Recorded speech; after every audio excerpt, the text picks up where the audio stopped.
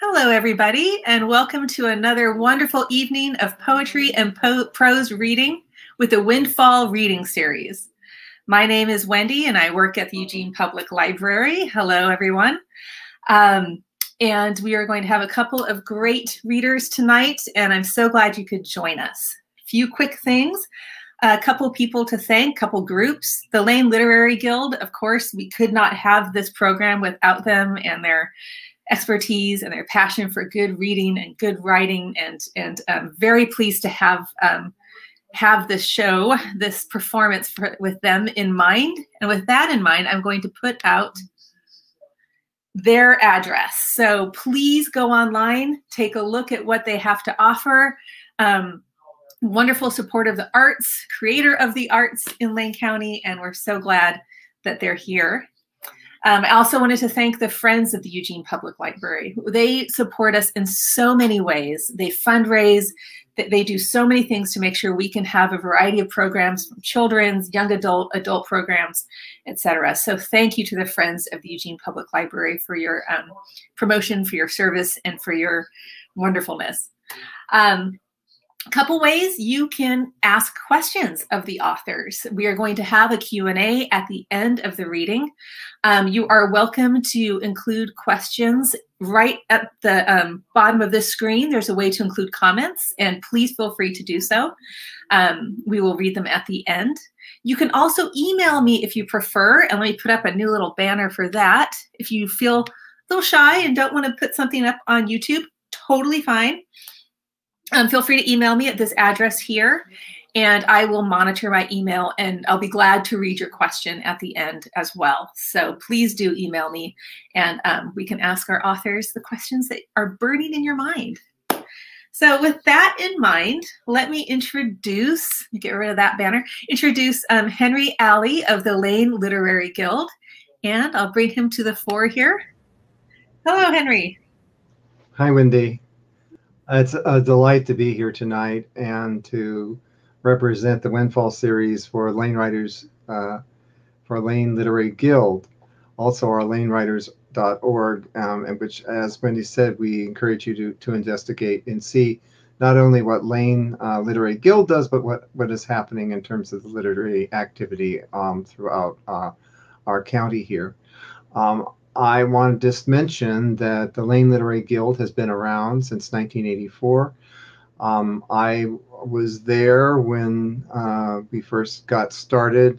Our first, one of our first readings was with William Stafford, and it's been a remarkable journey ever since to hear over time, over these many years, uh, such wonderful writers in our area, and also we've brought some from uh, outside our area as well. Uh, we we also have supported writers uh, workshops and we've supported contests. And it's just it's just very nice to see how the lane literary guild has evolved over time. Uh, tonight we have two wonderful writers uh, amber flame and also mike van Mantgem we have I have heard both of them read, have had the privilege of hearing them both of them read, and just said to myself, "Oh, I hope that we can get them into this series because their writing is so remarkable." So the, the first uh, we're going to hear from is Amber Flame, our poet. Uh, Amber Flame is an interdisciplinary artist, writer, activist, and educator whose work has garnered residencies with Hedgebrook, The Watering Hole, Vermont Studio Center, and Y E F E N O F.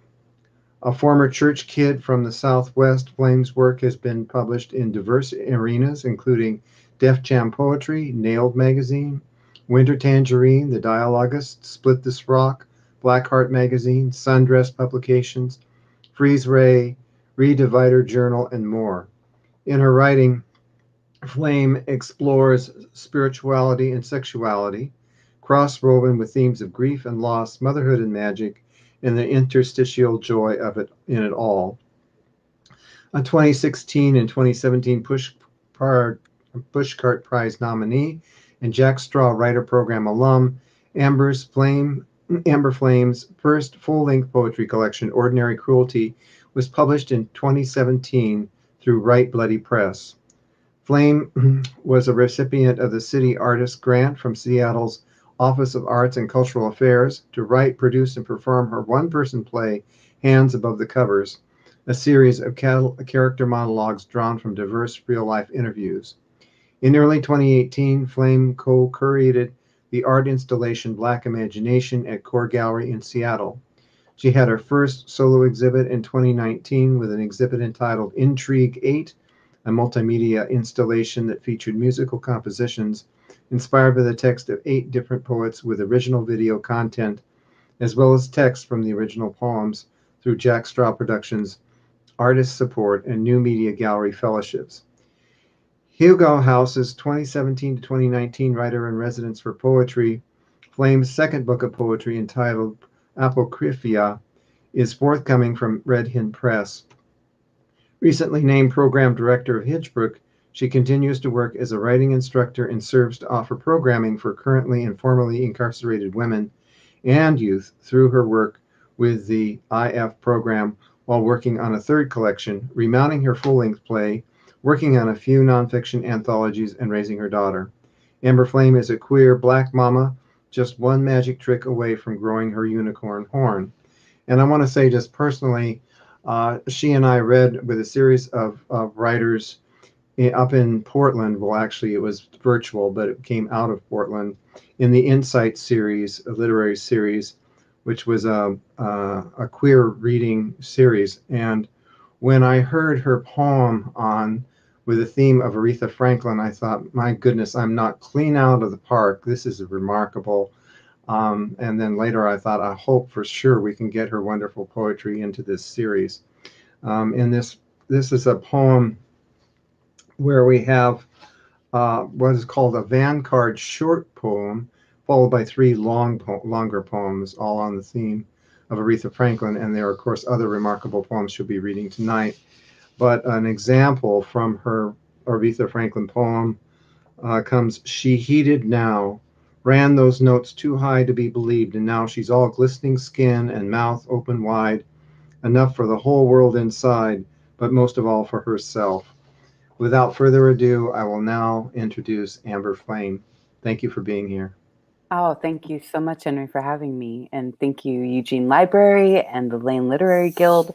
Um, you all now know everything about my life. I didn't realize it was going to be the full bio, or I would have submitted a shorter one. Um, thank you so much, Henry, for inviting me here. And I'm excited to share with you some more poems, including the Aretha Suite. Um, I'm going to start with some poems from my book called Ordinary Cruelty. Um, I have found that over the last several years, I've been exploring that those things that haunt us, those things that stay with us, um, everything from uh, fruits and vegetables, which I have a particular particular fondness for, to um, celebrities and icons who pass and leave us marked forever by their presence. Um, so I'm going to start with a poem about the aftermath because that's what I write about, apparently. this is called If You Look Out Your Left Window, You Can See the Detonation Site. I want to tell you about the aftermath because it doesn't matter so much what happened. What counts are the days you walk around like a desecrated tomb, all open mouthed and body absent. When you are left sweeping up the detritus of your sacred because the riches are gone and they've left you only a mess. I want to tell about the aftermath, the nights you come bumping back into your itching skin, only to find your arms are aching from holding yourself together. You have nothing, nothing to help you through the countdown to inevitable eyelid droop. The nights when success means that you didn't call for confirmation, that you truly are the barren wasteland they've already chosen not to love. I want to tell you about love's ugly, when it's twisted and broken, when you are a mess, Tell about the aftermath, not about what they did, but about how you find yourself parked outside their house in the rain just so you can ask for them to come back to you. This is embarrassing. Just so you can see who they've replaced you with, how they aren't better than you were before you became this mess. How the next day you find your car is a crime scene, There is blood on the seats, and your heart is unfortunately still thumping wetly against the floor mat where you wedged it under the brake pedal. I want to tell about the mess you make of yourself for love, the little compromises and pieces you shaved off to fit their desire, how you find them curled like dead skin on the floor of your empty house, and you forget how to fill the space around you. Tell about the aftermath, cataloging of everything you never liked in them anyway, so you could wish you were the strong one, you were the one to walk away. I want to tell you how it saps your bones of the marrow the absence of their breath in the night is blowing lonely on the empty reeds. How, with a body this hollow, you should be allowed flight, but you are grounded here in your mess. And so you sweep, sweep, sweep. The daily grind. You were powdered sugar ground no place to sit or lay ground. You are toddler, no tiara ground, mortal and pestle ground. You done met a hard place, a rock and a soft spot. Still ain't no place to lay your head, and it won't hide you neither nor hair. You are ground down, ground around, profound ground, and you figure that with a hole it's wearing in you, you got to be wearing a hole in it, and you wonder if when you get that hole, if you'll be too ground down to see it through. Smell my defeat. Lately, I am working most at forgiving the failings of the body, my body specifically. I have to breathe deep through the hint of a double chin and recommit to push ups when I notice my skin laying wrinkled and loose, but it is the knee that bothers me most with its inclination to buckle and inability to kneel. This is a dangerous and precarious position to take. There is give and pain and submit and pain and a proclivity for it all. I wonder if I could forgive such a large failing, a hindrance in a lover, if I'd compromise lovemaking positions to accommodate an ailment, a permanent injury, an acknowledged falling apart I think this is perhaps a large part of why I don't date. There is give and pain and commit and pain and an attachment to watching it all go. The knee becomes a theme. It turns out that I do indeed have a bad knee. I uh, seem to write poems about it. Another theme that comes up often is my daughter.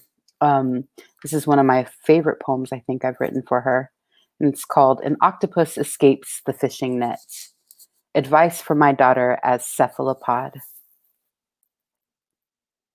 In this life where you must be both predator and delicacy, rend for yourself the tenderest bits.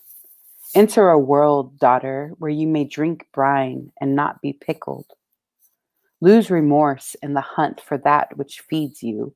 Be sure there are eight passions for each arm's embrace. In case your dreams are injured or cut short, by all means, keep yourself whole, even as you adapt with grace. Honey love, my sinuous structure, pure musculature, and give, infinite flex and reshaping. Do not be confined to any that would contain you. Be gentle, relentless manipulation. Hang on, love, or disappear in the confusion of your melanin clouding the display. How they love to watch you squirm and ooze. Be not object, entertainment. Remember how to pry open exits. Remember camouflage.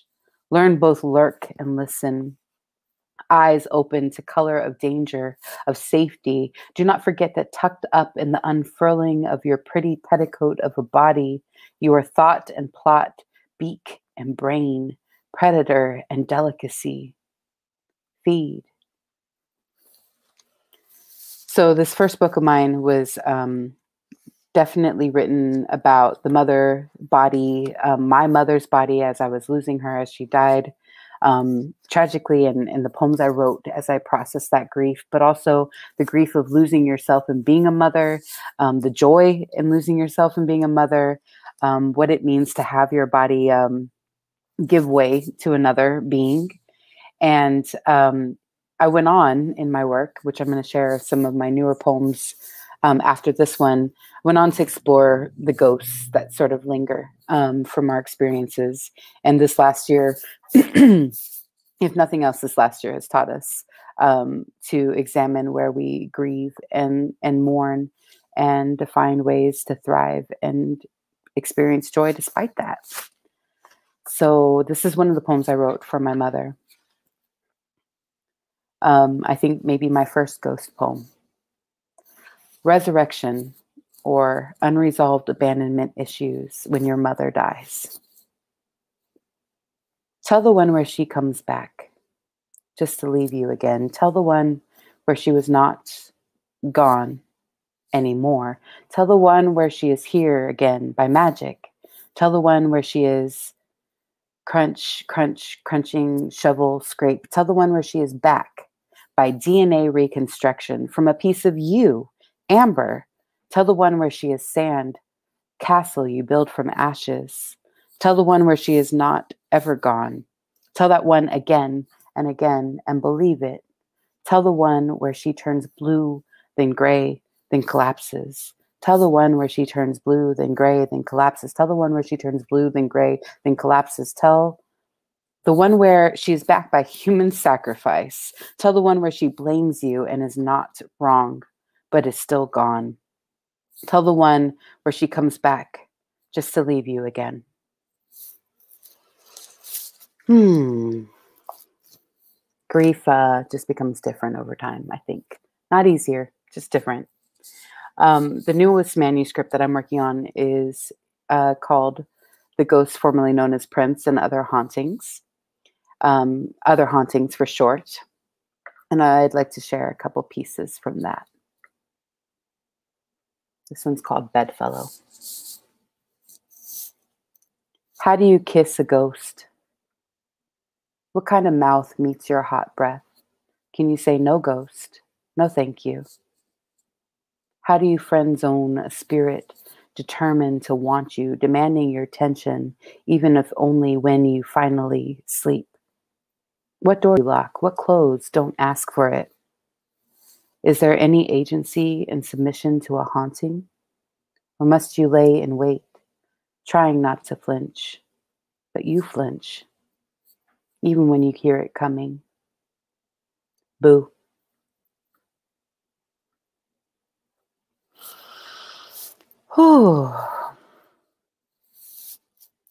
On becoming your best self. Check your words at the door of your mouth. Make your mouth a door if it was previously a swinging gate, or if it was previously a vined archway, make your mouth a door that can shut and lock, or if it was previously a threshold, or steps, or a steep cliff, heaven help you if it was open, if it was wide, if it was hungry. You're going to learn to build doors, containers with lids, things that shut, that seal, that are quiet sometimes when being quiet is the easiest path to choose. See how love first made you your best self, like a habit, like a calling, like a muscle exercising. Get strong, get better, get lucky sometimes, but more, get patient, how it serves you, how it flatters you, how it becomes you. In Whole Foods, buying myself a cake on a Tuesday, an older white man stops me to say thank you. Thank you, he says, grasping my upper arm without permission. I am confused. It was certainly not my intention to help this person until he says, Firefighters saved my home in this year's wildfires. Because I make a habit of not explaining to white men, I will tell you what I didn't tell him. I am not a firefighter. I am a poet with a bad knee. We regularly look like a family of superheroes, decked out in authentic firefighter off duty swag. Three women and the progeny a fearless wrangling of swarms of children day after relentless day. But we can have as much official gear as we want in any size, as long as her husband answers the call in the middle of the night, 10 minutes into her morning run, while she's in the grocery store, the shower, during their son's baseball game, the twins' birthday party, at her mother's funeral. Hero makes a great absentee father and husband just home to sleep. My sister says she is a single mother and blamed the fire department for eventual divorce. Hero will not help every day. so I started this new form of a sort. Um, I'm calling Vanguard poems, and they are essentially a short poem that kind of sets a tone or a theme, followed by three connected poems.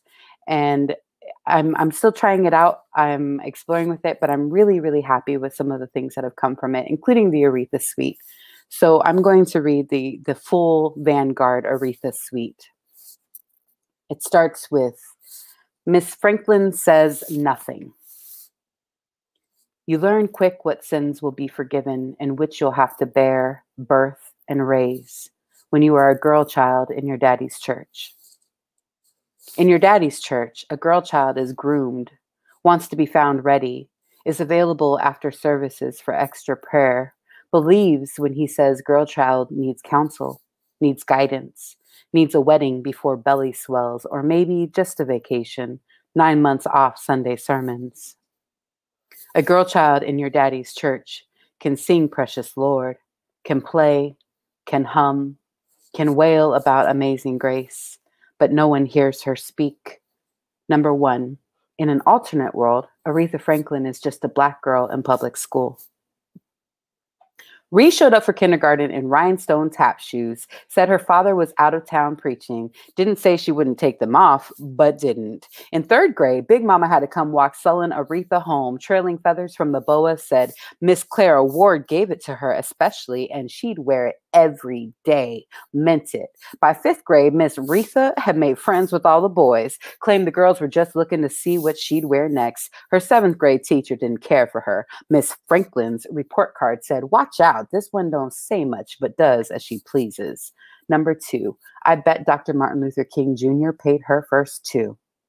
She approaches like it's the last demand. She's to get met. And piano gives a certain bend to the notes when a black lady finally willing to set her purse down on it, right in her line of sight, and get ready to play. Payment cash tucked neatly in leather, seems Ivory's most tickled by a sure thing, lends a resonance when she calls out for freedom, like it's been taken from her. And the crowd is with her. You understand when coat slides to puddle, silken on stage at her feet. She heated now, ran those notes too high to be believed, and now she's all glistening skin and mouth open wide enough for the whole world inside, but most of all for herself, sitting right out there on her teeth. And she wouldn't have come all this way. She ain't has something something to wail about.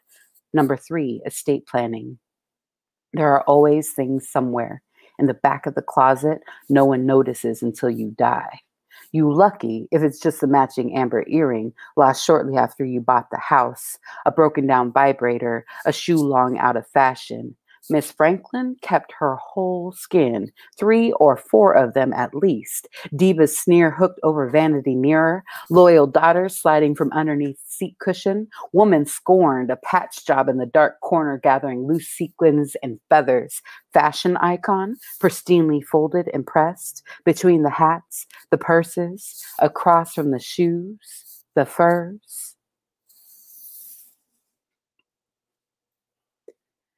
The ghost, formerly known as Prince, has taken residence in my left knee, dares me to twirl and do the splits, has me eyeing them cute heels, begs the feel of leather and lace. Uh, he is a mere shade of himself these days. Can't spectacle like he's used to. Not with, not with my knees. My knees on some retirement shit. Try to cuddle up with Prince's ghost over some hot chocolate by a fire and reminisce about the good old days. This a ghost turned melancholy quick every time the joint pops and creaks, tells me there are ways to forget the unbearable ache. This a specter ignores a knee's groan and click, never planned to make shadow of himself, and so refuses my knee a graceful aging. Always meant to wear, not rust, says either way, you're out. Says he only did what he must to get through this thing called life, says he never wanted to cry for pain, swear he's been changed, been reborn, asks when he'll be forgiven. So the icons I wrote most about were Aretha Franklin, who um, is near and dear to my heart, and um, Prince, who you might you might have noticed, and um, Whitney Houston. Whitney Houston really clung to me um, after her passing, not just because I loved her work, but something about the way she went and the way her daughter went um, the same year my mother did um, that really stuck with me. And so I write about them quite a bit in this new collection. Um, I also write about just the change that happens um, in mundane things. A perfect avocado has a shelf life of exactly five minutes. Outside these bounds, it is either unready, stringy pulp too attached to crusted skin, open precipitously, or too far gone, scooped brown softness marring the secret of its green flesh. Should you be blessed with an avocado tree in your life, all the perfect ones you pluck can never lay to rest the ghost of those wasted. My sister ripens avocado profligately, a large paper bag, an apple in its aging breath, and so many avocados, I am nervous. Guacamole does not set five minute limitations before making, just the requirement to eat it all in one sitting. Avocado more foundation than star feature. To make avocado toast, you must demand the perfection that all pale things craving melanin demand of color, no bruising, just firm resolve and an ability to give to the knife, the thumbs that come to dig goodness from the thick roughness named protection. They call it waste. Return it to the earth. Demand it grow again. Another Vanguard poem. This one is about my mother. Um, as sometimes happens when you lose someone, uh, you start to reconcile all the not so kind or wonderful things about them and have to forgive in absentia, um, but also just embrace the and of them as a whole being. And I was writing some hard poems about my mother, and I needed to write a kindness. So this is a vanguard called A Kindness. If mother is a myth I write in lieu of happy ending, let it be with kindness. Let tale be of epic proportions, battles won with sharp blades she crafted of her own intelligence, talking of shackles broken with sheer force of her imaginings, wielding words into a kind of wealth, my inheritance, Allow me ancestor worship, gathering unto me her pale shade. Praise guidance found, kneel to altar, a daily offering of gifts, base mired in cement of ash and tears. One, in this poem, I am the baby. Imagine you want to die, but you have this baby, this need to feed, the squalling mouth opened, Imagine wondering if you take your ghosts with you when you go, an already dead baby in your past. Imagine knowing they will be there in your own haunting, probably this baby too, weak and dwindling. It's so hard to focus on what's not gone when you don't know how to do what's left. Imagine being called back from the humming wonder of your own death by your own unshakable sense of responsibility. Imagine every time the baby's mouth opened to cry sustenance, you survived to feed it. Two, in this poem, I am not the baby, simply someone who wanted to die alive because of a mother's guilt. Three, a wing to fly. Once, when I was eight years old, my mother spoke another language so well she could write poetry with it.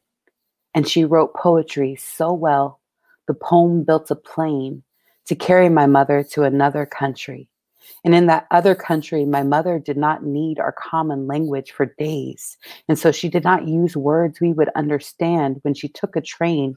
She spoke with other adults only. And so I imagine she did not think of us much at all until she returned and urged us to learn new words for ourselves. And now when she has no more words for me to share in any language that isn't dead, now I practice the act of speaking freely and perhaps being understood.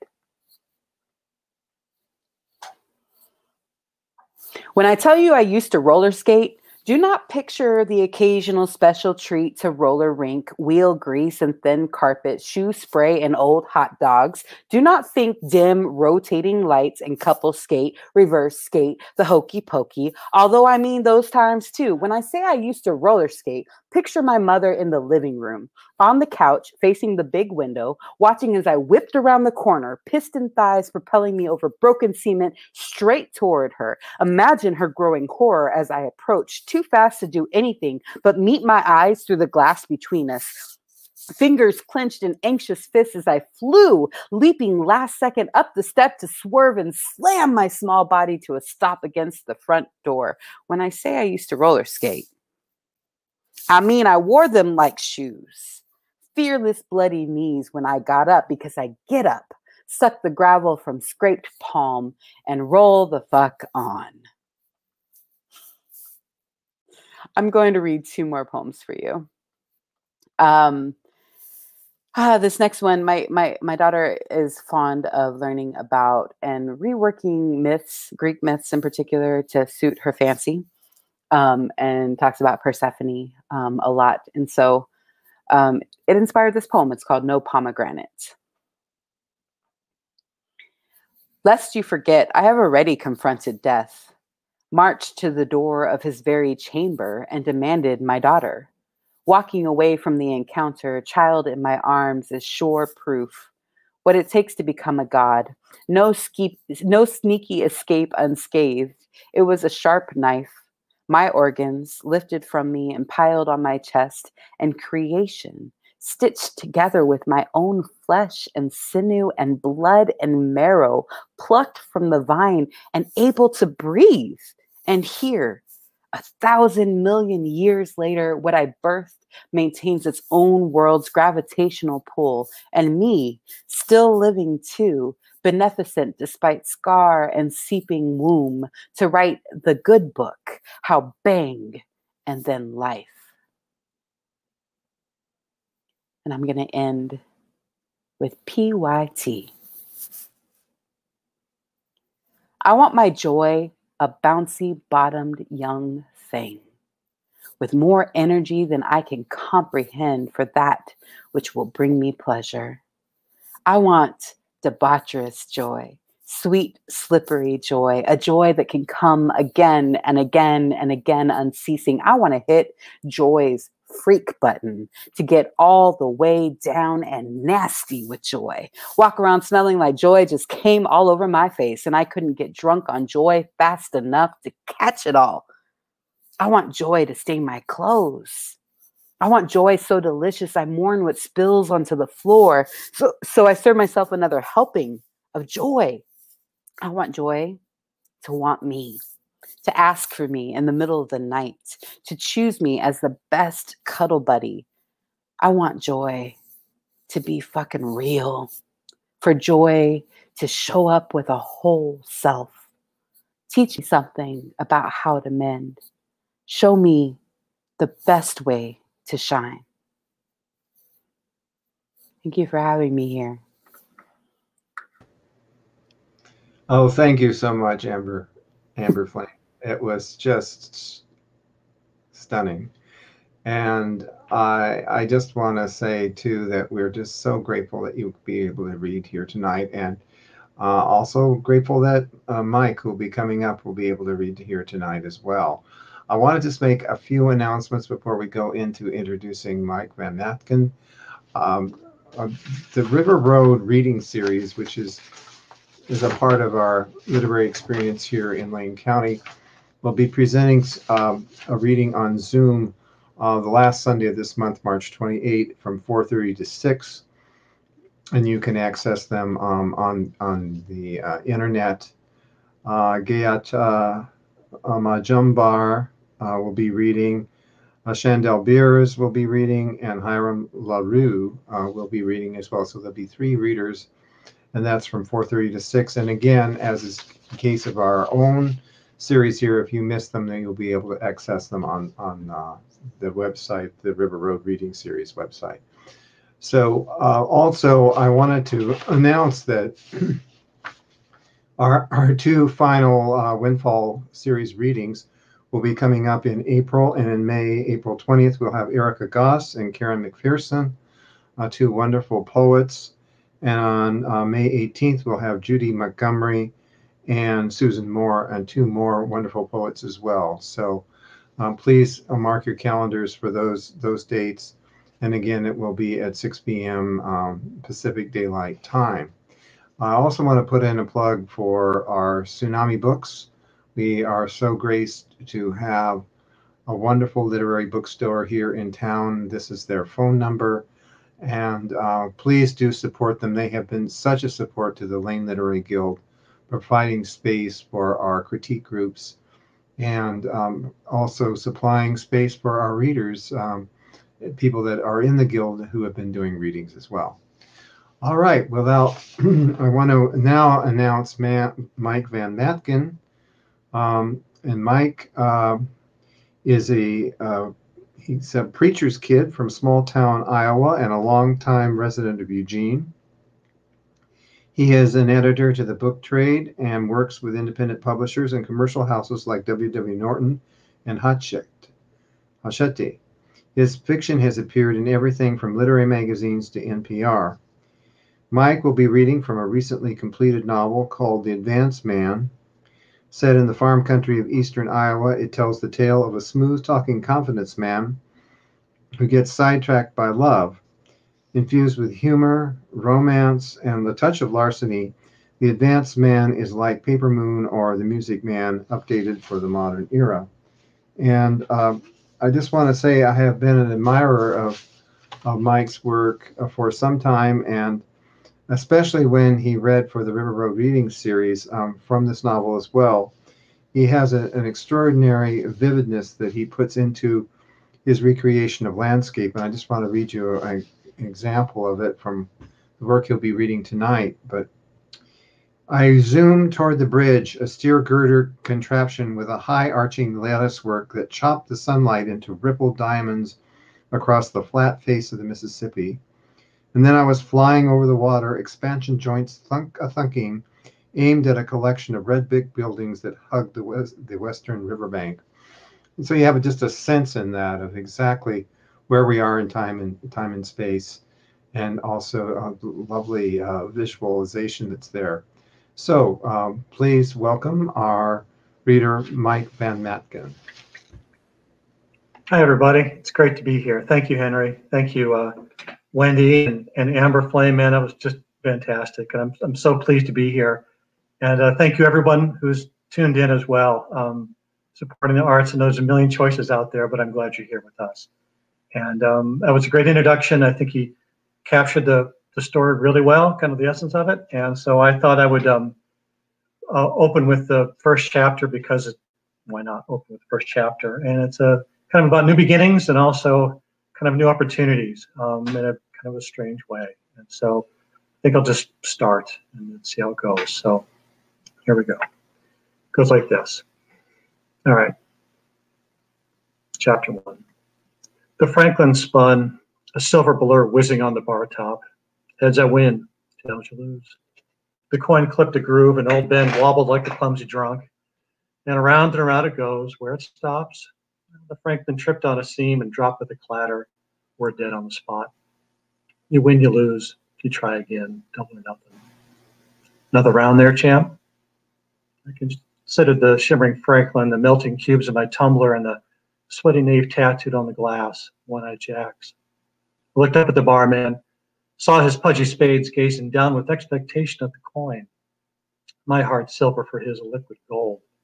A few stools off, a pair of fathead farm boys were sizing me up with keen eyes and sharp teeth. Me, a strange bird in bespoke suit clothes. Me, alone at this lonely hour. Me, a hapless trespasser, daring to dip his beak in the, their muddy watering hole. Didn't seem like a fair trade, I said to the barman, loud enough for the fathead boys to hear. I was down to this, my last coin, and thirsty as I always was, it was just too valuable to spend. The barman harumphed, but he was curious enough to linger. A grunt confronted me from down the bar. Hell, just a 50 cent piece, ain't it? With a defeated nod, I admitted that it was, but it was special, astonishingly rare. A gift from my father in law on my wedding day back when. I tapped my bare ring finger at the act of an honest man freely admitting his guilt. Promises made, promises broken, all bourbon and water under the bridge now. Rare how? The barman asked, disinterested in my busted drunkard's tale. Well, that was the question. I picked up the Franklin to consider it. My former father had been a tool and die man at the Denver Mint back in the mid 50s, a long two decades gone now. The coins were all silver in those days, and proof strikes were simply resmelted, but not always. I held up the Franklin to admire the glisten of its frosted finish. Did they have another to compare? I waited as pockets were checked, as a registered till was inspected. Nickels and dimes, quarters, a payday roll of greenbacks. Hmm, no matter. It would seem I'd have to demonstrate. I invited the Fathead boys and their payday roll to come a few stools closer. In attempt to uh, improve the quality of the coinage, I explained, the Mint would test proposed modifications to the designs. Most never made it into circulation. This one certainly never had. I huddled around the Franklin as I gave them an up close look from the palm of my hand. Even in the dingy light, the details of this wonder of the Rockies were clear enough to see. Don't look nothing special. Exactly, but which way was Ben himself facing? They looked at each other as if it was a trick question. To the right, guessed the fatter of the Fathead boys. Exactly, but which way should old Ben be facing? The trio thought long and hard without saying a word. The answer was right there in front of them, but seemed too obvious to be correct. Uh, the other way, the lesser Fathead ventured. I set the coin down on the bar top with a solid click a gesture to demonstrate the correctness of the answer and to suggest that Franklin was up for grabs. What's it worth? The Barman said, cutting the chase. Coin this rare? No, it's hard to say precisely. At least a round of drinks for the whole bar, but only if the bar room was packed full and the entire bar itself was included. Fat had squinted at me, at each other, at the barman. They looked around the dead room to assess the value of the empty booths and the threadbare pool table the blinkered jukebox and battered cigarette machine, the worn taps and dusty liquor bottles across the low back shelf. As they added up the value of these riches, I spun my tale. My ex-wife had taken me for absolutely everything, down to the kitchen sink. All I had left were my nuts and this handsome coin. I had a job interview up in Chicago at the commodities trading floor at the Mercantile, but I was stuck here between there and nowhere, just too broke to put enough gas in the tank even to get me to Peoria. What I needed was a jump start. Even if the Franklin was worth a whole bar, I'd sunk so low that I'd trade it for as little as a full tank in a motel room. The fatter of the fathead boys gave me a shrewd look. Even fifty dollars for it. I took a long moment to weigh the offer, what it meant. On second thought, no, I couldn't. It was the last memento of this happiest day of my life. It was my AA coin too proof I could someday crawl out of the bottle for good, proof I could still win her back. And I apologize for making my troubles their trouble and reached for the Franklin to claim it. 60, said the barman. I paused. 70, the fatter pet had countered. 80, the lesser pet had blurted. His rival kin smacked him upside the head. Shut up, dummy. 90, said the barman. The fatter pet had glared at his rivals, tossed his payday roll onto the bar top. That's an even hundred cash on the barrelhead. 150, said the barman. The fatter fed had raised up. Became a massive threat of violence that brushed back the barman and caused me to shrink. Here's the deal, he said to me. You take that hundred dollar or I whoop your ass. I gulped on my fear and held steady as he savored his dominance. Since I couldn't take no for an answer, I gave the, car, the barman a courtesy of a helpless shrug. Then I did the only reasonable thing I could and slid the coin down the bar top, and in return, took ownership of the greenbacks as I'd been commanded. Friends, I said, pushed off my stool. Many thanks are given this stranger a helping hand when he most needed it. Guard that coin with great jealousy and don't spend it all in one place. Hope you see me on the other side. As I shouldered out of the bar, I couldn't help but give a furtive glance back. The fatheads were huddled around the coin, sassing the barman and floating about the great fortune that was sure to come. And my heart warmed and I became glad. If nothing else, I had given them the fleeting pleasures of winning a king's ransom for song. Uh, the outside was sultry, the night liquid black and cloying. I retrieved my last good handkerchief. dotted the dampness from my forehead, and moved the payday roll to the security of my wallet, checked my watch and the splash of piss gold neon that touted the champagne of beers. The hour was small. The night was long, but I dared no rest. The day ahead had already begun, and I could count on nothing except for the luster of the coin to suddenly tarnish. Traveling slicks in farm country or sore thumbs easily struck, and the spill I'd cast over the Franklin was both fickle and charged. my car beckoned from the far end of the gravel lot, shadowing under a marquee that promised a friendly welcome to the Sugar Bottom Motor Lodge. The soft light spilling from the marquee stained the gravel, bled out across a strip of blacktop, and dissolved into a cornfield slathered with tendrils of congealing fog. I didn't like the shape of the layout, the feel of my place in it, and as slow as my breaths, a sensation of lurking danger came over me. The room I'd gotten earlier that evening was an indulgence I should not have afforded myself in the story of my life. I felt a tug and urge to forego the extravagance of clean sheets and soft pillows, to brace myself with a cold, hard shower, to pack up and get lost, to find a lonesome stretch of back road where I could crash safely to catch a few furtive winks. Now, gravel stones stuck into my thin leather soles as I crunched across the parking lot. Playing yokels for chump change was the only thing keeping me afloat these days. For too many months to no good purpose, I've been sailing through this miserable patch of western Illinois, hunting for whales in this tall corn country of blighted towns hung with uninspired names conjured by folks too thrifty for even the luxury of poetic fancy. Hills, Black Rock, plains. Uh, no matter how colorful my yarns, how simple my patter, how easy my terms, knobby hands stayed jammed in overall pockets to pinch the pennies found there. My only possessions of enduring value was a gold watch and lighter, a match set given to me as a no hold bar, no hold, no hard feelings parting gift by a group of bankers in Ohio after they bullied me out of a fortune of stock in a Utah copper mine of rather mythical value.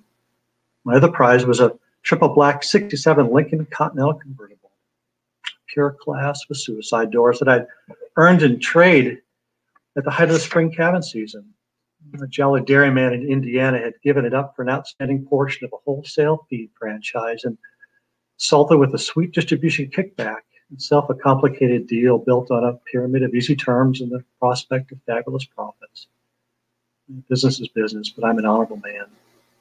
I merely tell tales of uncommon opportunity and trade for common currency, a line no different than selling tickets to an adventure of flickering light on a silver screen. I made quiet entry into my motel room, stripped down, showered in a spray so cold that it set my teeth chattering and turned my cheeks rosy. Honed to a cutting sharpness, I dried off and dressed, packed my suitcase. A check of wallet, a watch, and keys confirmed all was in place. Squared and ready, I eased out of the motel room. The lock clicked behind me, and there on the promenade, I again tested the feel of the moment and my place in it. The danger was still lurking. I could feel it in my tingling fingers and my squeezing throat. The black night had turned an definite gray, and the smolder of the coming sunrise had made out the contours of the vehicles nosed up to the rooms. A Dewdamp family station wagon, the dark wing of my top-down Continental, a creamy crew van a few doors down. I sensed something like rushing wind far away, and I cocked my ear to catch it. The wind gathered, became the hissing of tires on blacktop coming fast. The urge to run was sudden, immediate, and I hurried past the dark windows to the promenade, reached my convertible, tossed a suitcase in the back, and ducked for cover. Warren Brace rasped on gravel uh, under soft tires. I hugged the shadows as kiltered headlights swept across the face of the motel like floodlights searching for an escaped prisoner. An engine bravelled closer, coughed dead suburb past the van. Leaf springs groaned. Stomping boots spilled out. Unpunctuated shotgun shuck. Loud, sloppy voices roared for the dirty dog to come out like a man and get his ass whipping. Lights popped out of the windows down the other rooms, all the way to the manager's office. Meaty fists clubbed the heavy door. Hunched at the back bumper, I dared to steal a look. A rotted out pickup doors flung wide. The hooked backsides of two fat-headed farm boys, a gleaming gun barrel, Undoubtedly, they dug up another Franklin to compare it to the prize. Alas, Ben only Favre faces to the right. The spell can break any which way, and this one had broken with the thunder of drunken rage. Slapping feet smacked concrete coming fast. Pajama clothes billowing, the swollen faced manager stormed past on the promenade, hurling goddammits like thunderbolt, thunderbolts.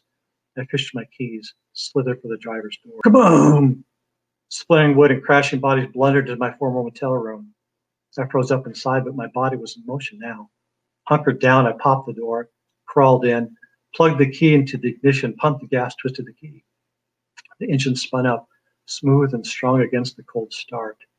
Resisting the urge to mash my foot through the floorboards, I slid the vessel back from her berth, clicked her the drive, and crept away, steady as a held breath, as slow sunrise. My gaze fixed in the rear view, and the narrow rectangle reflected shifting shapes of bodies locked in struggle. Cautious under spilling and I bumped onto the blacktop. A muffled breeze became a gentle wind, then a roaring gale. The road ahead was a dim slash through open fields, and I drove hard to gain distance, checking the rear view with the obsession of a hunted man. But the road unfurled behind me, empty as could be.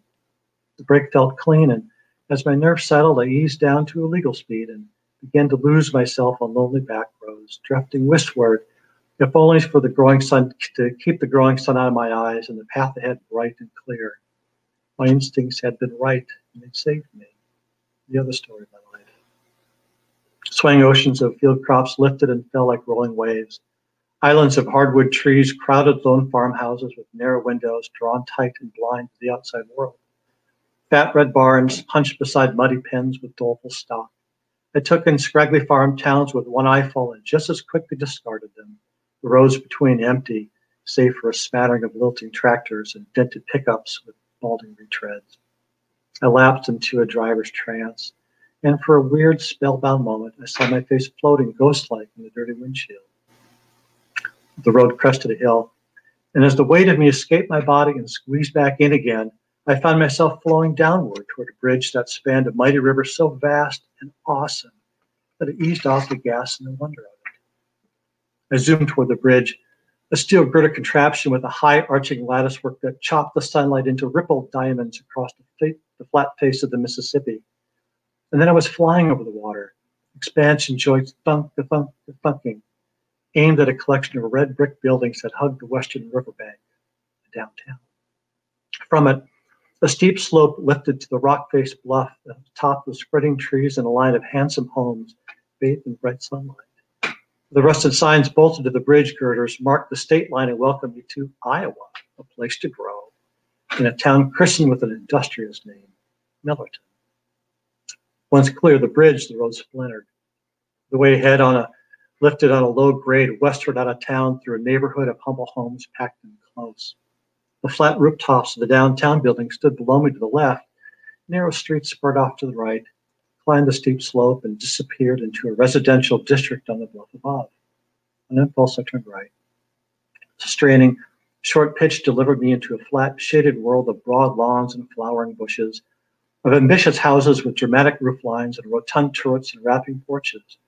The drone of a distant lawnmower blended with humming tires as the pavement gave way to rough brick. Stout menfolk were out and about, spraying windows with garden hoses and washing cars and soapy driveways. Ladies in starched aprons clipped flowers and worked clotheslines.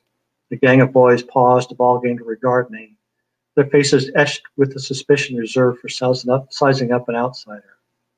Well, because looks are deceiving, I withheld my assessments of the town as I glided out of the shady streets and coasted into the downtown grid. I felt the gnaw of hunger as I descended, and I decided to look for a diner, the sort of place where locals gather to gossip and a stranger like me might get an accurate fix on the quality of his welcome. The downtown tilted on a slight incline toward the river. The flat top building stood a square three stories, and up close I saw brick faces worn and weathered. Dusty storefronts displayed durable wares, faded by too many days under the glare of a strong sun. Clothing and shoes, housewares and appliances, musical instruments and caskets. The streets, potholed and shot through with cracks, were framed by chipped stone curbs. Broken sidewalks carried light foot traffic, men with lazy steps trailing women with clutched purse and tent. Their bearing was a curious mix of indolence and diligence, health and ailment. But unlike the crumbling coal and factory towns of the Rust Bucket East, the air here wasn't tainted with the grimy funk, and though the folk of Millerton seemed a bit threadbare, well, they were polished up and dignified. I pulled to the curb, shut off the engine, sat tall and conspicuous. The passing folk acknowledged me with concise nods and thin smiles to a stranger. Encouraged, I stepped out to join the ranks. Following my nose round a corner, I found my diner, the paddle wheel. A scratchy cartoon filled the plate glass window, and it invited me to enter into an oldie timey dining experience aboard the Zebulon Heavy glass doors pushed easy, my entrance announcing announced by a tinkling bell, and I found myself in the invitation of an, an antebellum steamboat, complete with bulbous fixtures and ornately framed photographs and paintings, long stacked paddle wheelers churning heroically upriver, bent back men and beasts loading cotton bales, gambling men in flat brimmed hats plying the rascally trade. Despite the fanfare, business was slow. In a far booth, a trio of thick-handed farmers huddled over coffee, napkins tucked into their collars to safeguard their town clean overalls. At a near table, a professional man studied the financial pages of a big city newspaper while munching toast and absently tapping ash, a loosened tie flipped over his shoulder. A lone waitress who had perfected the craft of lingering drifted about in a smart pink uniform with crisp white accents. She gave me a permissive nod that showed me to a stool at the counter and set me up with a scalding cup of joe as thick as pitch tar. While savoring the clinging aromas coming from the kitchen, I blew on the coffee with polite airs and allowed myself a wandering gaze, touching eyes with my fellow patrons and receiving in kind regard. I found my lighter and pack. The old gear started clicking as I tapped one loose. Well, I could play the lone professional with some certificates of stock and a sure bet copper mine, or maybe I could play the farmer trio with the wonders of a rare coin. Hmm, neither felt right. Now the waitress, waitress drifted back to me, refilled my cup to the brim. Morning, hun. What kind of meat you want? Uh, not having opened the menu, I replied with a sunny smile and ordered up the day's special, a fortifying platter of hams and eggs and hash browns. As she eased over to the kitchen window to put my order up, my eyes lifted to the pictures of the dandy gambling men, their dirty dealings made romantic by the long gaze of history. And it occurred to me that I've been playing the wrong games, the wrong tables rare coins and point franchises, small stakes games that put a man on the run, this thin wallet becoming thinner with every blue plate and empty tank. I needed to change my ways. I needed to become like the gambling men of yore, a celebrity with a common man's touch, a man you're sure you know and sure you like, a friend you admire so much you laid down your last dollar just for a chance to buy the drink. You know, the measure of a man is described by how Earnestly he applies himself to the excellence of his trade, and how ably he marshals the look he makes. You're making myself whole cloth, meant engaging in the arts of wholesale fabrication. And as my luck would have it, I chanced into Millerton, a bygone place holding its own even as, as it was fading away, a place of easy nods and simple smiles, a place of farmers in clean overalls and waitresses smart and pink. Yes, indeed, Millerton was swell a place where a man could press himself into the labors of his trade, and if his luck was any good, earn himself a tidy fortune. Thank you so very much. I appreciate it uh, for an opportunity to read to you. Thank you. That was great, Mike. Uh, Thank you. Very riveting, and uh, you got a you're going there. That's for sure. It's uh, very, Thank again, it's very vivid. Wonderful. Okay, well, we're, we're now into our question and answer period, and we encourage you to write in uh, any questions that have come up. We have one already for for Flame. Um, comes from a man, my friend Amanda Powell. Um, she says uh, she asks, "What is the formal element of the Vanguard series? Is this something you learned in writing a poem, or some something that you didn't know before it was written?" You have any thoughts on that? Oh, that's a great question. Um, I it came came about because I was working on a really hard piece that I was trying to figure out what angle I was taking, and I sort of I took an angle to editing that I had never taken before, which is like get the idea down and sort of brain map it out, almost like a project or something. I'd never done that with a poem, and I was just it just was a really hard subject to tackle for me emotionally and I wasn't ready, but I had the ideas. So I'd sort of just brain map them out. And as I was trying to bring them into poem form, it was sort of like this one and then this one and then this one. And I realized that I actually had um, sort of an introductory poem that went with and, and none of them were quite complete without the others. So it felt like it told the whole story when you hear them all. It told yeah everything I wanted to everything I wanted to say about that piece. It was it was in all four of the pieces, and uh-huh. it started with this sort of vanguard, the setup poem, and then I mean. I, I thought maybe I would only do it once, but then it ended up being the way that the Aretha poem came about, and then another poem, you know, the poem about my mother. There's actually two. Yeah. yeah. it was organic, a, and now it's formalized. Yeah. Now I've done it a few times. yeah. I thought very effective because it gets a momentum going. It's just really quite wonderful. That's great. Um, uh, Wendy, do you have another question, or shall I just go on with my my question here? Do I didn't get anybody in my email? They felt okay, bold enough right. to guess online. I want to I want to ask Mike. Um, what particularly fascinates you about the con man or the trickster element um, in people? Um, have you felt the interest in that for a long time? I know it's fascinated many writers, you know, even right going all the way back to Herman Melville. Do you have any thoughts on that? Uh, I just find it's a really fascinating character type. You can do so much with it, and that the trickster character, like you said, is so classic that you know, just so much you can do with it. And it, the I think the question is, you know, what maybe it's something you can do new with it. I don't know. I mean, it's just uh-huh. I find voice with it, and that's great. It's a fun story anyway. I, I, uh-huh. I, I don't know. I, I wanted to ask you in follow up to that a little bit of a loaded question because it, it, yeah. it indicates a prejudice on my part. But when I was writing about the southern Midwest and specifically Arkansas, um, I I wrote about a man who who convinced himself and everybody he could cure cancer back in the, in the 1930s. Uh, Norman Baker, and he even set up a little hospital um, down there at Eureka Springs. But this is a loaded question and probably has a prejudice in it. But do you think that the trickster element provides a certain window into the Midwest? I mean, or I mean, could this take place in Canada? Could it be, take place, uh, you know, in the Pacific Northwest? I mean, or, is there some yeah. connection at all?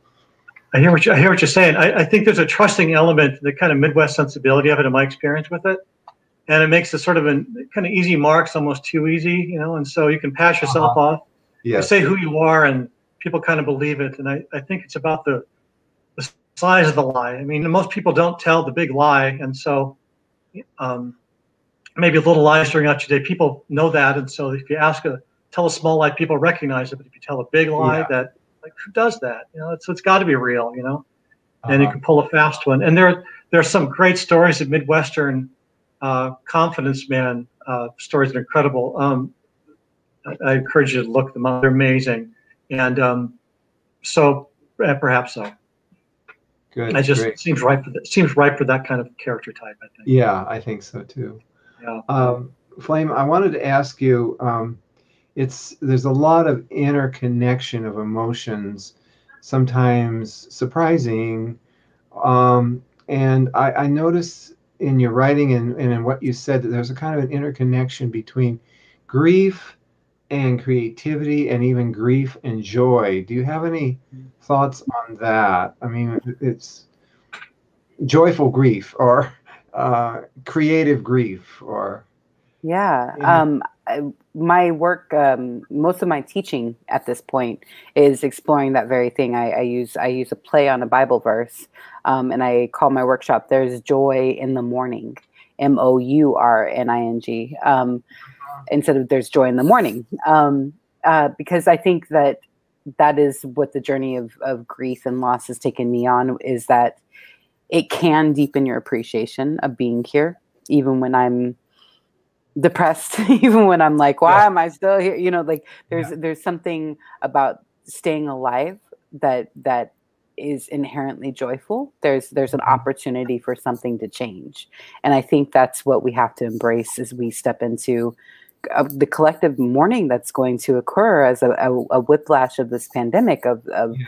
the quarantine of, of, so many so many human lives lost um, in such a short period of time we are under we're, we're in mourning and we don't even know it because we're still in shock and so right. as i step into more grief work i i have to find where to be joyful because Mhm. that is the only reason we're here. the only reason why we create the only is to access the the lifeness, the the being aliveness that is Mhm. left to us um, for our- however long it's left. We don't know. There's a, you know tomorrow is not promised. I can, I, I bet Mike and I could go back on Bible verses, back and forth on Bible verses for a while um but yes there's just like it, it, it came upon me one day. I was like maybe joy isn't these big sparkly um brilliant flashes and moments in life. Maybe it is just in simple moments that just you have to be paying attention. You have to notice them. You have to decide to be alive um or you'll miss it. Um exploring actually Whitney Houston's death um, and, and really going into her life and, and how she escaped into drug addiction and all this stuff. Like as i unpacked it i realized i was like oh she was she was like a joy seeker. She was hungry to try to find a way to feel joyous again. And it recalled my my guru who passed right after my mother did. She always told me to learn what, what to learn what feeds my joy to step into what feeds my joy. And i was always like what does that mean? I, how do you what I, what does that mean? And i thought that that was the purpose. But what she was actually telling me it turns out was that there are all these moments in life that just kind of skim by and they're just little they're little blips of, of of a sparkle here or a smile there or a true connection and and and that is it. That might be all there is it might be a lot of heaviness and that's all there is. So if you can't notice those moments then then you're not you're not staying alive you're not staying present Yeah. and and you're just running after something that is really an illusion at that point right? Joy it becomes an illusion. So um I, I i have to keep them tied together because otherwise i'll i'll drown. It's easy to drown in grief. It's easy to drown in what how awful you know this this book i'm writing explores that like the world is a trash fire half the time. Um you look around and you're just depressed about it. So but did you did you like look at your child and smile today? Or did you have Yeah. something really um did you notice spring coming? That's been you know that's been my source of joy recently is like oh there's a bud right there and it's about to open. And just that's it. Maybe that's it. And maybe that's all i'll get. But isn't that enough? Isn't that why i'm here anyway Yeah. Yeah. it's a question i keep asking myself Yeah. more than an answer and, not- and- and not taking anything for granted, you know, exactly you know what I mean? Um, including the opportunity to be alive right now which is as hard as it is And I've heard people say that already now about how much the spring means to them this time around, you know, Mhm. after COVID, uh, all that too. hmm And I, I, it's interesting because I that the song "I Want to Dance with Somebody Who Loves Me," that's got a melancholy aspect to it. oh too. it's so sad yeah, mhm. but there's the joy too voice. You know what I mean? It's the, it's well, of course you know what I mean. Maybe it's just that conjunction, you know. yeah i mean be, the the knowing that you could maybe Yes. find somebody to dance with Yes. somebody who loves me yes. somebody who's here just for me only for Yes, me Yeah. you know like like how could you not like she has a smile on her face even as she's longing for something more right Exactly. um, yeah. and if she had been able to notice that that's it that's all um the fact that you're alive to want to dance to want the fact that your yeah. body still dances yeah, you know how how wonderful is that that is great. Oh, that's great. Okay. Um, I was just wondering, uh, Mike, about how you decide in the first. This again, I don't know why I keep asking you these loaded questions. but anyway, but how you decide um, what to suppress in an opening chapter in terms of backstory and what you you decide to disclose. Now, I I may be missing something, but I don't think we know his name yet, right? Is Not correct? yet. Okay, we don't know his name, and we really don't know what he looks like. Not We can guess a little bit like a little bit of his age. So, um, tell me a little bit about this mystery that you're obviously you could have done all of that, but Yep. tell me a little bit about this mystery and your Well- decision to keep that. Well, thanks for asking. Yeah, it's um the part that I presented is half the half the book. There's a whole another voice that is a counterpoint to this, and he's he's he's described from another point of view. And okay, so there's another narrator in the in the novel. absolutely. Okay. Yeah, that and that's the foil who's also so he's the villain, and so the heroine is the the one who describes him and and uh, illustrates, you know, reveals the truth of who he is, and he's delusional himself, so he doesn't really recognize who he is. He's false at the same time he's true to himself, and the other character, the counterpoint, sees him for who he is, right through him, and takes him to task, and so he's described thoroughly and completely that way. So it's a point counterpoint, uh, kind of not a he said she said, but more of a just a tennis match back and forth between both of them. And so it, it becomes a reveal um, through her, her point of view um, as much as much as through his. So he doesn't describe himself, but he describes everything else except himself, and he's revealed again by others. So Okay. again, I only had 20 minutes, and so I, you know, Oh, yeah. it's a whole, whole, whole other voice We that. know- yeah. Well, we didn't want to have to do War and Peace in 20 minutes. So. Uh, so you said she, so this is another. The other narrator is a she, Yeah. and that's the only other narrator in the book. That's right. Okay. And and she is reliable, whereas he is not. Is that right? That's exactly right. Yeah, she's completely stalwart and totally reliable and very practical and absolutely square. That's right. And so she's sort of representation of this place that he's landed into, the authentic, true, true place. And so he's there to, you know, cause trouble. And so she's there to stop him. You know, from a. Okay. it's just different work. And so There's yeah, a counter, in a kind of counterpoint that's going on. the absolutely. Yeah. Very Yeah. good.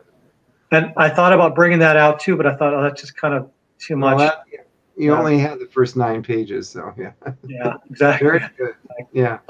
Um, this, uh, uh, this this question comes from Karen McPherson, who actually will be reading uh, her poetry next month. She has also been a Windfall coordinator, and she says, uh, "Amber and Mike, wonderful readings and discussion. One little question for for uh, Amber Flame: fruits and vegetables. Anything more about this? By the way, I love the avocado. Uh, thank you. Um, yeah, I have a couple. Some of my, my more light poems I, I feel in the collection are about fruits and and or vegetables. Um, I I have a thing for fruits and vegetables. I'm the kind of person who finds a really good, you know, fruit and vegetable stand and then does too much. Like there's no way you're possibly going to consume all these fruits and vegetables before they go bad kind of thing. But I can't resist because they're gorgeous and they smell good and they look so pretty and I'm like a little bit of this and I, I can't contain myself. It's like office supplies and fruits and vegetables for me. Um, so I don't know if you're a collector of fruits and vegetables. Some people do books. I tend to read my books. Um, but fruits and vegetables always got me and it always bothered me every time they one would just I wouldn't get to it. It would when when throwing out fruits and vegetables saddens me, makes me, you know, and they stick with me. Um, so I have a poem about a plum. Um, I have a poem about avocados. I'm working on some more about and and just when they come to me, and it's usually an experience where it's like I just recently lost a mango to time, and it makes me so sad because it, like there's something so luxuriant. Um, poems about off- no poems about office supplies yet, but now that I mention it, right, it's just more more place to explore. Um, yeah, so fruits and vegetables, I think they're an easy metaphor for me of of just how, you know, when you have something that you just delight in, but then you don't give it to yourself, you wi- withhold it. I think that's something that I'm I'm picking at, like why don't we just, you know, why don't I just eat it instead of being like, oh, I'm to save it. I'm to have a salad. I'm to have a big salad. It's to be great. It's like, or you're to have no salad because it's all bad, you know? So um, I, I think that's where I find, um, I think it's a lighter way to look at how we, how we are haunted by the mundane. Yeah. How we're haunted by the mundane. Mhm, Yeah. Not just, not just the big things, but little things. Yeah. Yeah. I have a kind of a complex about zucchini. Mm. Uh, because in Idaho, you just barely put the seed over the ground and it's like a water balloon. You know what I mean? When you're filling a water balloon. And, you know, somebody go up to you and say, um, well, I have some vegetables to give. And they'd look at you suspiciously and they'd say, what kind? Because everybody was loaded with now and, and here in Oregon, my husband and I cannot grow a zucchini in our backyard to save our lives. Mm. They just dry up and die, and I've just felt so inferior because of that. You know, and- and- I just, you know, it's interesting how they can rivet our attention. You know what I mean? So Yeah, I also grew up in the desert, so moving to the Pacific Northwest was like there just was so many. There's so many options for fruit and vegetables just growing on the ground, like blackberries. Just somebody moved back to to Southwest and was like, "Oh my gosh! For the first time in ten years, I've I paid for blackberries. what, what life is this?" And it's like, right, I remember that life. So I have a special fondness and appreciation for things that grow. Just yeah, and that how disappointing your zucchinis won't grow. You'd think Oregon was wet enough for that. uh, it's well, some of our neighbors do just fine with it. So I don't know. But we just we stick we stick now with dahlias. So Which are also beautiful. Yeah. yeah. Um, just a couple of final questions, and one for Mike, and that is, did did this character? What can you reveal his name so I can speak about? Can you tell me his name? Yeah, his name is Bam Parsons. Bam, Bam Parsons. Yeah, Bam. kind of a ridiculous name. Did, Yeah. did Bam Bam for you as you were writing about him evolve over time, or did he stay pretty much the same character? No, he evolved. It was really interesting. Thanks for asking. His voice really changed as the more I, more I uh, wrote him, the easier it got. You know, and in fact, the first chapter was the last chapter I wrote um, because I really didn't work. I wrote it, but it didn't really fit. Didn't really work well. And once I had the book finished, uh, I found that I could write the opening, which is what I just read. Um, so yeah, he really did change, and the, the character himself, I think, became more gentle, became more uh, uh, aware of himself as it went along, which I thought was interesting too. Uh, Yes. that wasn't necessarily what was going to be the case at all, and Yeah. uh, uh, it was it was more interesting that way too. It- It's process, right? The writing process reveals. things. Definitely, yeah. You know, there's that wonderful story about Tolstoy who went be- before he started Anna Karenina, he was going to write this kind of scathing satire about this wicked woman. And as he wrote more and more, and it grew to be about 900 pages um, in print, he he became so in love with her and with her tragic resonance and her Yeah. beauty. Um, it, it, it is it is wonderful, sort of how characters can, um, if we don't hold them back, evolve Yeah. into. Yeah. That's true. right, and I, he, he becomes kinder, I think, to himself and other people, and I think that was interesting Oh. too. Good. And yeah, perhaps it was when I was writing, when I was finishing up, because it was kind of in this time of lockdown, and I don't know, it became more gentle, more forgiving, I think, and it was, uh, Right. it was felt right. Good. Yeah. Mike, Like- can I ask you? Do Sure. do you start out with uh with um? Is it easier? Do you feel to start with sort of like set extremes of sorts? Like, okay, this character is going to hold this this Deep. round, and then they kind of deepen, right? Like they, right. like you said, they they evolve all Yeah, by that's themselves. right. Yeah, it's the point counterpoint, and that's right. And you set them in, in dire opposition, and the more in opposition they are, the more interesting the reactions are when they collide. And so, if you have a trusting town folk or a gentle place that sort of is getting along, and you've got someone comes to the mix who's going to churn it up, then you've got something interesting, I think. And that's right. And uh, um, yeah, you're exactly right. Uh, the, the more black and white it is, the more um, up and down it is, you know, the better, for sure. But then they get gray on their own. It sounds like they Absolutely. they become Yeah. more complex all by themselves. That's right. Yeah, that's right. And, and yeah, exactly. So th- they surprise themselves, and, that- and they surprise me when I do it too, and it's a lot of fun. So it's just a it's a pleasure to work on this kind of thing. Uh, I can't So- wait to learn about the stalwart one, who probably Ah, is less you. stalwart than she thinks. Thank you. Happy to share with you. Thanks. One last question for Flame. Um, you mentioned a best self when you were reading the poetry, a Mhm. best self. Oh. And it makes me think of uh, Alice Walker when she was being interviewed, and, and she said she loved writing about people who were pursuing their best self. And I don't think I'll ever forget that as far as you know my own writing is concerned. And I wondered, does uh, how does that phrase work with you when you're you're writing about the best self? Oh man, that goes back to the whole why we're here, right? The joy. Um, I always, I always say that I'm, I'm trying. I keep trying to to be my best, the best version of myself that I can be. That's every day that I'm here. I'm trying to be a better version of myself, um, in the way that I show up for my child, in the way that I show up for my relationships, my work, everything. Um, I think that it's it's it, it's pretty boring when people think that they're okay just as they are.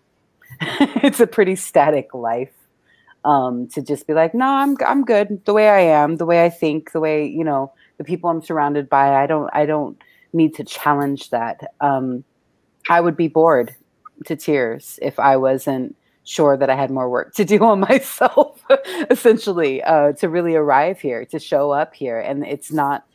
It's you know um, it's it's trying to show up with my best self and another thing that comes up a lot in my in my thoughts in my teaching is this embracing of the and like i am trying to be the best mother that i possibly can be and there are days when i just don't have it in me and i fail.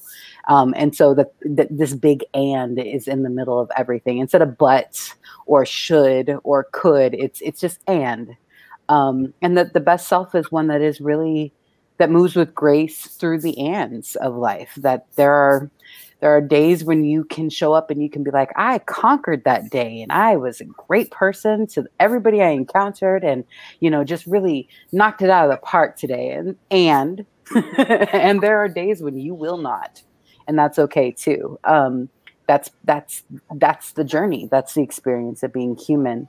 Um, so the best self is is um, my moral compass it is what replaces i'm not a church kid anymore. I don't have the same beliefs anymore but that that sense of like you know i think it comes from that definitely that that yeah. idea that you're going to be measured at the end of your life yes. by your deeds right? By your actions your deeds your words. And so what what do mine look like? Would i be pleased with the legacy i leave behind?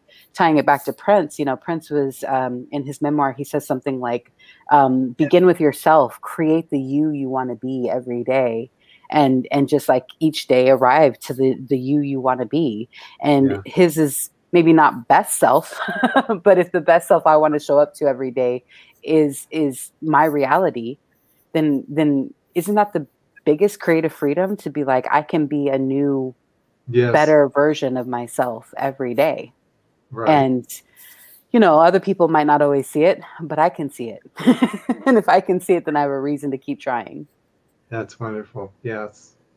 Well, thank you both so much. It's been such a rich experience here tonight, hearing uh, the prose and the poetry, and I'm looking forward to reading more of both of you. Yes, absolutely. Such a such a great great thank launch.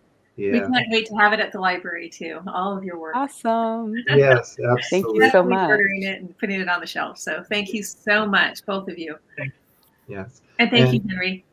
And remember um, also for our next reading, uh, it will be on April 20th with Erica Goss and Karen McPherson. Mm-hmm.